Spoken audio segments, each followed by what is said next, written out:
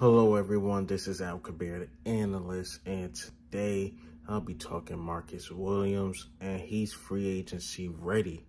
This is Alkabeer, the analyst. Marcus Williams putting in work um, during this off season, and he is ready for free agency. He got a countdown. He he's ready to go. He's ready to get that bag. He's ready to prove he's that dude. Um, it tells me two things. Maybe he won out of um New Orleans I want to get paid. Um, if that's the case, yes, come to Philadelphia.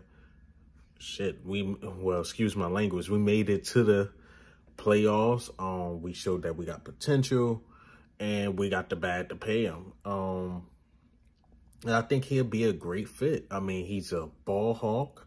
Um, he's really quick. He could defend. He just got a nose for the field that a lot of safeties don't have. He can hit. He's pretty young, so even giving him the bag won't hurt too much. And to me, if you don't, if you don't basically get Kyle Hamilton, all the other guys you kind of gotta develop a bit. I like um Kerby a lot. Yeah, I like Kerby a lot. Let me just say that even if we get Marcus Williams and Kerby, I'll, I'll be fine with that. But when you look at our safety room, it's pretty thin. Is Rodney McLeod gonna come back? Um, is Anthony Harris gonna come back? Is is Anthony Harris worth resigning? When you really look at it, we got Marcus Epps and K'Von Wallace, but Wallace didn't show anything yet to say like he's ready. He didn't show any flashes. He did pretty good on special teams, but he didn't show any flashes as a safety like this dude is it or this dude is ready. So you need a Marcus Williams there, man safeties are important. So you'll have Slay and you have Marcus Williams up top. I know a lot of people like that guy from, um, I can't think of his name right now.